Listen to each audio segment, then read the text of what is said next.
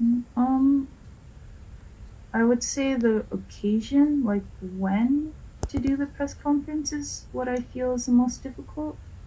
But hmm. Are you listening?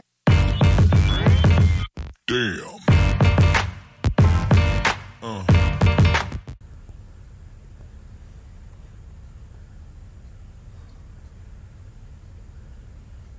Sorry, I'm thinking.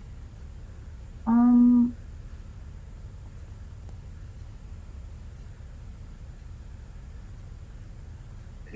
I think we can move on to the next question, Naomi. Do you want to move on to the next question? Um, no, I'm actually very interested in that like point of view. So if you could repeat that, that'd be awesome.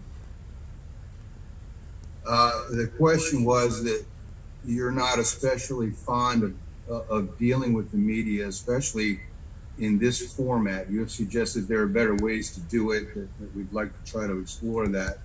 Uh, my, my question, I guess, was you also have outside interests beyond tennis that, that are served by having uh, the, the, platform that the media presents to you. My, uh, my question is, how, how, are you able, how do you think you might be able to best balance the two?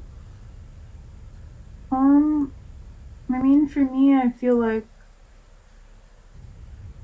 this is something that I can't I can't really speak for everybody. I can only speak for myself, but ever since I was younger, I've had a lot of media interest on me and I think it's because of my background as well as you know how I play. Um because in the first place I'm a tennis player, that's why a lot of people are interested in me. So I would say in that regards I'm quite different to a lot of people and I can't really help that there are some things that I tweet or some things that I say that um, kind of create a lot of news articles or things like that. And I know that it's because I've won a couple Grand Slams um, and I've gotten to do a lot of press conferences that these things happen. Um, but I would also say, like, I I'm not really sure how to balance the two. Like I'm figuring it out at the same time as you are, I would say.